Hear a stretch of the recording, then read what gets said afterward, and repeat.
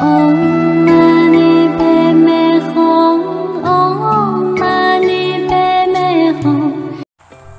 Hoàng Trần Nhân Tông diệt dâm từ, dẹp bỏ văn hóa đồi trụy và khuyến khích nhân dân tu thập thiện.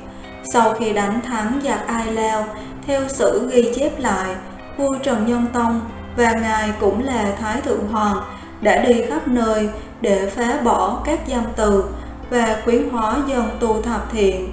Nghĩa là ngài xuất gia rồi, nhưng ngài không ở chùa với tư cách là một Thái Thượng Hoàng và cũng là một thiền sư để cho mọi người đến học đạo. Vua Trần Nhân Tông chống gậy đi du phương khắp nơi để giáo hóa, nghĩa là Ngài rất cực khổ, rất vất vả. Ngài chống gậy đi khắp nơi để giáo hóa, nhưng cái chữ dâm từ là gì không ai hiểu cả.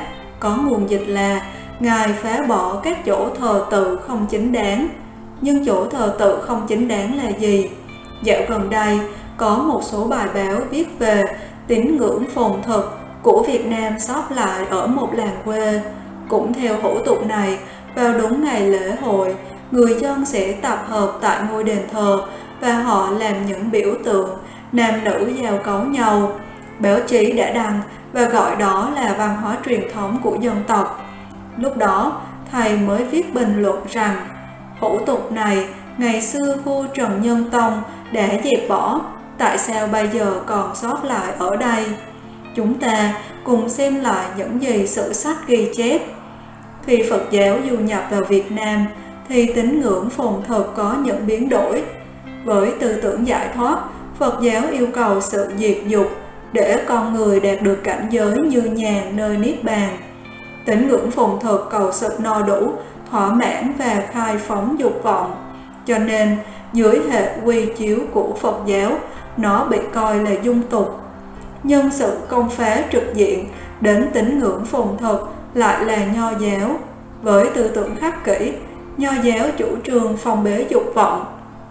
Nam nữ thụ thụ bất thân, đề cao chữ lễ, đến đời Trần, tín ngưỡng phồn thực vẫn còn tham nhập vào sinh hoạt cung đình. Theo việc sử thông giám cương mục, vua Trần Thái Tông đãi quan thần trong yến tiệc năm 1252, người chỉ huy hiệu lệnh uống rượu, đầu đội mò nang, tay cầm dùi đục. Đến vua Trần Nhân Tông, khi từ bỏ ngai vàng để làm giáo chủ Trúc Lâm Thiền Phái, Ngài đã đi khắp nơi thuyết giáo để dân gian từ bỏ giam thần.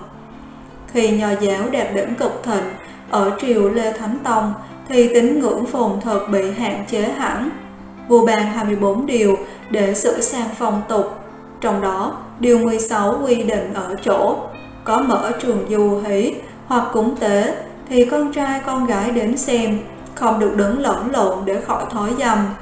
Điều 18 các phủ huyện phải lập bia nơi sở tại để cấm con trai con gái không được tắm cùng bến để cho có phân biệt.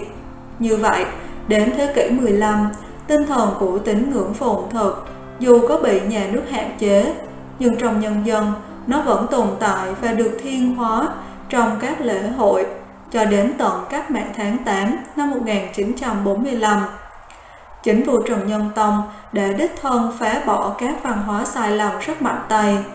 Chúng ta, chúng đã nứt và chúng đã nứt và đợi đến thời đại này, các danh từ đó đã xuất hiện trở lại và dùng chữ danh từ là chính xác.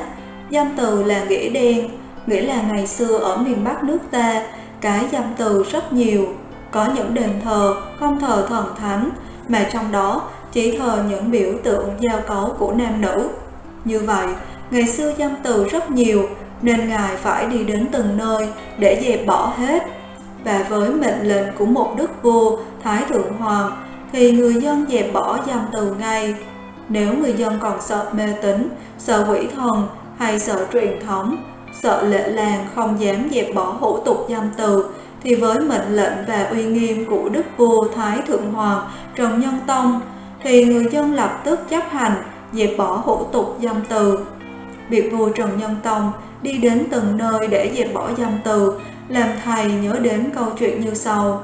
Có ba người mẹ đưa con đến bác sĩ để khám bệnh. Bác sĩ vừa khám bệnh, vừa nhận xét như sau. Trong lúc khám bệnh, bác sĩ nhận xét như sau với bà thứ nhất là bà ham tiền lắm, bà mới đặt tên con, bà là tiền. Đến bà thứ hai, bác sĩ nói, bà ham ăn lắm nên mới đặt tên con bà là bánh. Bà thứ ba nghe vậy liền nói, thôi về cu. Qua câu chuyện đó, ta mới lý giải là tại sao dâm từ ở Việt Nam thờ nhiều. Đây là một vấn đề lớn, vì nếu để hữu tục dâm từ tồn tại sẽ trở thành một cái lối sống không tốt cho dân tộc. Cho nên ngày xưa, các dâm từ còn tồn tại nhiều quá, nên buộc lòng vua Trần Nhân Tông phải rất vất vả đi đến tận nơi để dẹp bỏ. Sau khi phá bỏ các dâm từ, vua Trần Nhân Tông thay vào đó là khuyến hóa, là dân du thập thiện. Sau khi phá bỏ các dâm từ, vua Trần Nhân Tông thay vào đó là khuyến hóa, dân tu thập thiện. Ý của vua Trần Nhân Tông là phá bỏ các dâm từ, tiêu hủy các văn hóa phẩm đồi trụy đi. Dâm từ không phải là chỗ để thờ cúng, không phải là điều để dân ta hướng về thờ cúng. Điều nhân dân phải thờ cúng là thập thiện, làm những điều tốt lành cho cuộc đời này, và giữ gìn năm giới cấm, và quy y tam bảo. Vua Trần Nhân Tông chống gậy đi khắp nơi, làm cái công việc phá bỏ các dâm từ. Nhưng ngày xưa không có Internet, không có báo chí, đích thân Ngài phải đi từng nơi để diệt dâm từ, giúp dân rất cực khổ.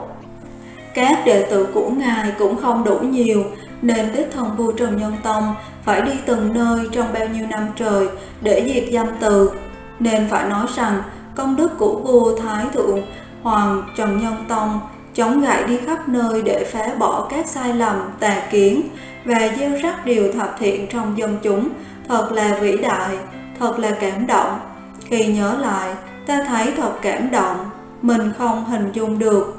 Vì ngày nay, mình đi đâu còn có xe, phương tiện giao thông vận tải. Ngài đi bộ từ vùng này đến vùng kia để phá bỏ các dâm từ, dạy dân tu hành thập thiện. Phải nói rằng, Phật Hoàng Trần Nhân Tông lấy Phật giáo để xây dựng lại thành một văn hóa đẹp về giàu lòng yêu nước cho đất nước Việt Nam. Vì nếu để dâm từ lại, sẽ rất nguy hiểm cho nước Việt Nam. Trích những điều kỳ lạ trong hành trạng của vua Trần Nhân Tông, thầy thích Trân Quang.